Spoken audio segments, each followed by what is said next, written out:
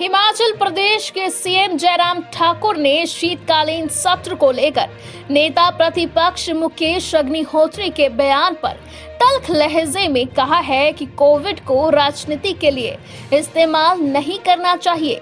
ये किसी व्यक्ति या सरकार द्वारा पैदा किए गए हालात नहीं हैं, इसलिए उनको सहयोग करना चाहिए।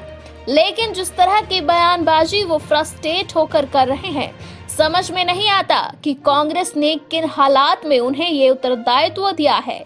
अपने व्यवहार से वे अपनी ही पार्टी में ही हादसे का पात्र बन गए हैं। सुनिए आज हिमाचल प्रदेश सचिवालय में।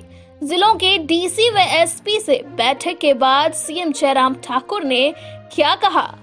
जब मानसून सत्र में कोविड पर डिस्कशन हुआ तो यही मुकेश अग्निहोत्री जब नियम सतासठ के तहत जो है वो वहाँ पर स्थगन प्रस्ताव लाए हाउस में, और उसका जब हमने हमने कहा, हम स्वीकार करते हैं, चर्चा करिए। तो दूसरे आदमी को कहने लगे, आप शुरुआत करो पहले।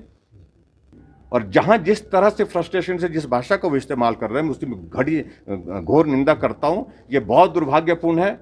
बहुत ऐसा व्यक्ति को इस प्रकार का दायित्व दे दिया कांग्रेस ने। मुझे मालूम नहीं क्या व्यवस्था रही उनकी और जिस प्रकार के हालात में, जिस प्रकार के व्यवहार वो करने जा रहे हैं, वो अपनी ही पार्टी में हास्य का एक बहुत बड़ा पात्र बने हुए ये सच्चाई ये है, उनको इस बात को समझना चाहिए कि कोविड को राजनीति के लिए इस्तेमाल नहीं करना चाहिए बड़ी स्पष्ट बात है।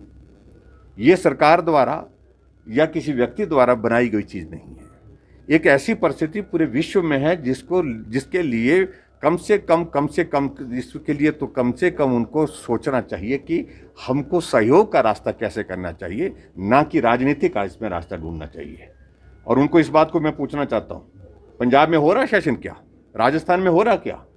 छत्तीसगढ़ में हो रहा क्या? वहाँ पता करिए ना। और उसके बाद में ये भी मैं कहना चाहता हूँ कि पार्लियामेंट का सेशन डेफर हुआ है।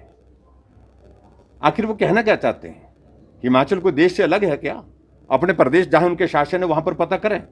विशुद्ध राजनीतिक दृष्टि से विपक्ष जो है, फ्रस्ट्रेट होकर के। ऐसे हरकतें कर रहा है, मुझे उन शब्दों का चयन करना उचित नहीं लग रहा है। जो जिस प्रकार का उनका व्यवहार हम देख रहे हैं। ऐसी परिस्थिति में जो हमने निर्णय लिए हैं, देखिए सेशन से संबंधित मैं बड़ा स्पष्ट कहना चाहता हूँ। अगर सेशन ना करने की हमारी मंशा होती तो हम सेशन का नोटिफिकेशन ही नहीं करते। हमने ईमानदारी से सेशन को मानसून सत्र में भी दस दिन का सत्र हुआ और पूरे देश में कहीं भी दो दिन से ज़्यादा सत्र नहीं हुआ है।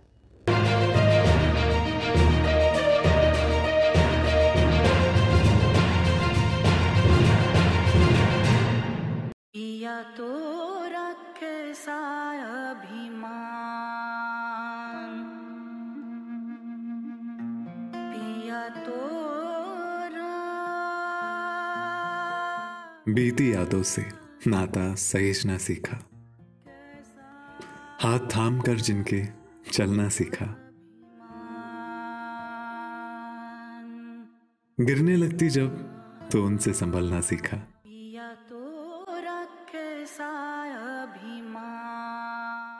उनकी डांट से खुद को तराशना सीखा।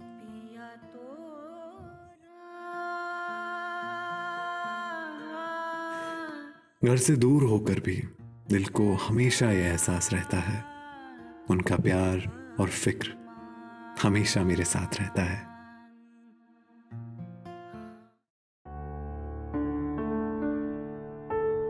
भूषण ज्वेलर्स, अनमोल रिश्तों के लिए।